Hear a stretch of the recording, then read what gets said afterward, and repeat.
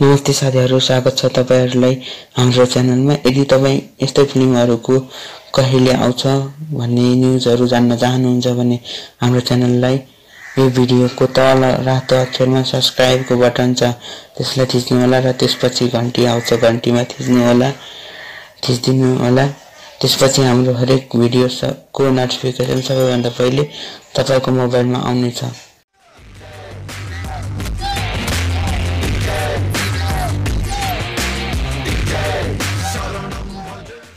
Okay अब सुरु गरौँ आजको। आजको प्रस्तुतितर्फ आज म तपाईँहरूलाई दुईवटा नेपाली फिल्मको न्युज दिनेछु।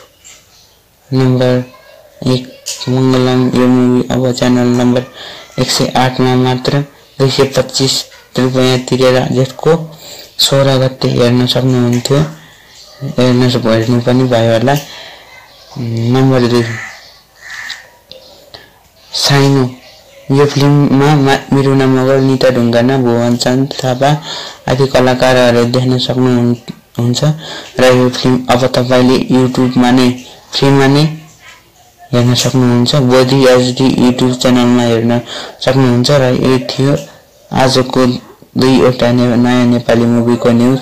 अब भन्नुहोस् तपाईँलाई यो दुई मध्ये कुन चाहिँ हेर्न इच्छुक हुनुहुन्छ तर हामीलाई कमेन्ट बक्समा अवश्य भन्नुहोला।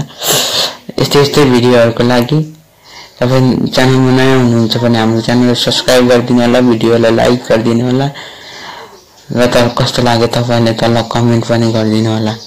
तपाईँको कमेन्ट बिना हामी त्यो पनि बनाउन सक्दैनौँ। त्यसैले केही कमजोरी केही कमी कमजोरी छ भने तपाईँहरूले तल गएर कमेन्टमा भनिदिनु होला।